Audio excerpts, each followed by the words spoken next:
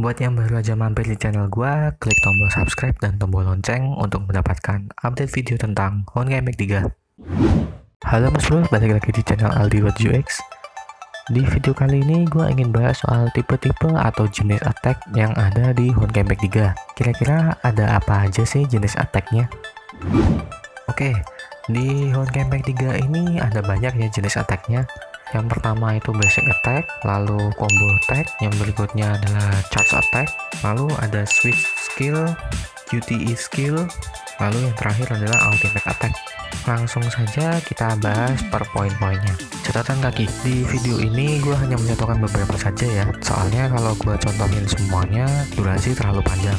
Jadi mohon pengertiannya ya Oke, dimulai dari basic attack. Basic attack ini adalah serangan dasar yang dimiliki setiap Valkyrie. Basic attack ini bisa berupa melee ataupun range. Melee ini tipe serangan jarak dekat, sedangkan untuk range itu adalah serangan jarak jauh. Ini adalah beberapa contoh serangan basic attack. Setiap Valkyrie bisa melakukan basic attack. Lalu bagaimana cara melakukan basic attack? Yaitu dengan cara tap-tap tombol pojok kanan bawah, itu adalah tombol attack untuk melakukan basic attack. Oke, lalu yang berikutnya adalah combo attack. Combo atau range attack ini adalah serangan kombinasi basic attack dengan cara tombol attack ditahan dengan jeda yang singkat. Oke, ini adalah beberapa contoh dari combo attack dan tidak semua Valkyrie bisa menggunakan combo attack. Yang bisa menggunakan combo attack itu hanya Kiana, Mei, Kalen, Yae, lalu Fuhua. Khusus untuk Fuhua, cara menggunakan combo attacknya yaitu dengan kombinasi tap tombol attack dan tombol ultimate. Lalu berikutnya adalah charge attack. Charge attack ini kurang lebih hampir sama dengan combo attack, cuman bedanya jeda hold pada tombol attacknya itu agak lama dibanding combo attack. Oke, ini adalah beberapa contoh Valkyrie yang menggunakan charge attack. Seperti di combo attack, tidak semuanya bisa menggunakan charge attack. Siapa saja yang bisa? Yang pertama itu adalah Brunya, lalu Himeko, Teresa, dan Rita. Pengecualian untuk di Kiana Kaslana ada Valkyrie Desert of the Void.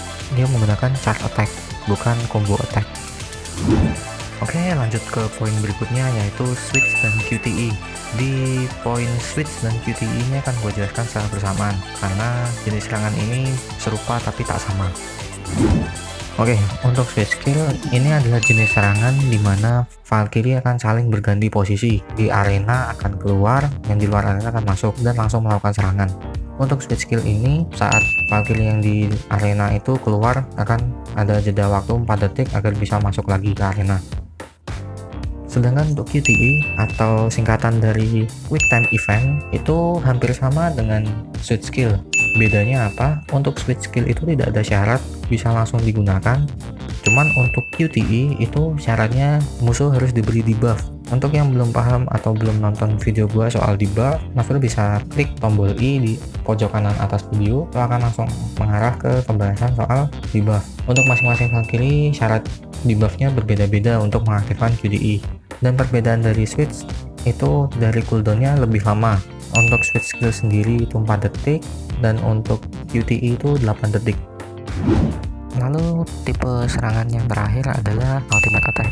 Ultimate attack ini serangan terkuat Valkyrie untuk mengeluarkannya dengan cara mengisi SP lalu membayar SP tergantung syarat SP cost setiap masing-masing Valkyrie untuk ultimate itu ada tiga jenis pertama tipe nuke atau normal yang kedua adalah tipe burst lalu yang ketiga adalah tipe summon untuk ultimate tipe pertama yaitu nuke atau normal, ketika Valkyrie mengaktifkan ultimate, Valkyrie tidak bisa kita gerakan. Jadi kita hanya menunggu animasinya sampai selesai baru kita bisa menggerakkan Valkyrie lagi.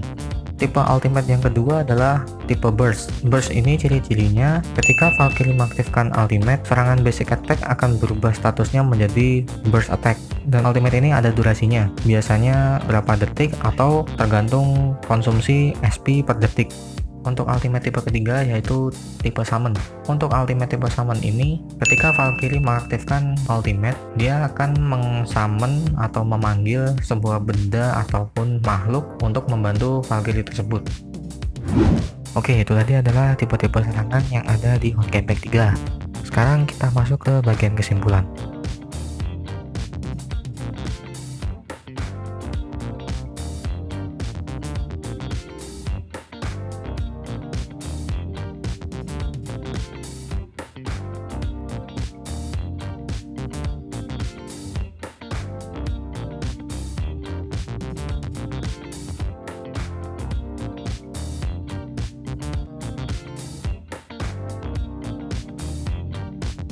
Oke, sekian dulu untuk video kali ini. Mohon maaf jika masih ada kesalahan dan kekurangan.